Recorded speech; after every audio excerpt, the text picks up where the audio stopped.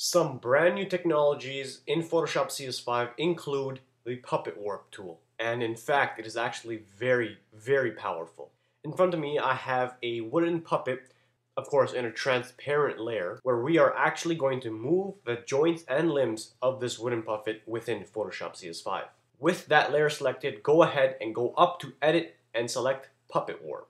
Now automatically you should see a mesh around that image. And up here in the options bar is where you can change the settings of this mesh. For example, if you want to have a little bit more density to these points, you can just select more points. That way you'll have more accuracy when you're selecting the control points of this wooden puppet. Now what do I mean by control points? For now, let's just turn off the mesh so you won't get distracted. You should see that your mouse cursor has changed its image and this is where you can apply the control points of your puppet.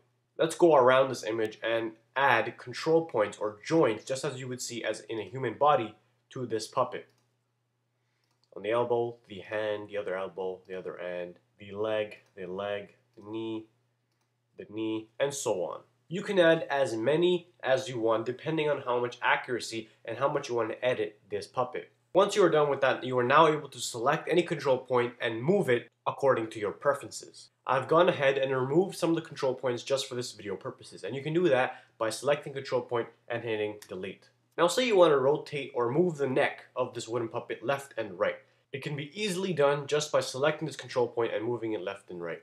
But now you can see its arms and legs are moving as well. And that is because we haven't pinned his hands with the control points on the puppet. So if you would like, you can go ahead and pin his hands by doing that, that, and that. Now if you move his neck, you can see that only his neck and part of his torso move left and right. But that is not all you can do. Let's get rid of this control point and focus on the shoulder joint. If you hover your cursor over that control point and hold the Alt or Option key, you should get a small circle around that control point. This is what allows you to rotate that control point and that control point's range from it going outward. Let me demonstrate this for you right now. If I rotate this, you can see his entire arm is rotating. Bottom, all the way back to top. Then again, you can add a control point here and rotate this as well. Same with his wrist, and so on. Now let's go down to his leg, specifically his knee. I want to bring his right leg behind his left leg. And I can only do that if I pin down his point above the kneecap and when I remove this control point.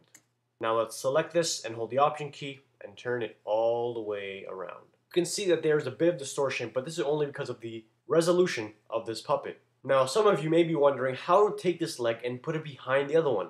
I mean, do we just have to go out and erase this part to make it look like it's behind the other one, or what? Actually, the Puppet Warp tool allows you to do it right here in its settings. You can change the pin depth, meaning you can bring it upright or behind the image. Let's set the pin backward, and as you can see, the leg is now behind his left leg. Once you're happy with your editing, hit enter, and Photoshop changes those settings. And also you can see here that most of the distortion in the leg is now gone.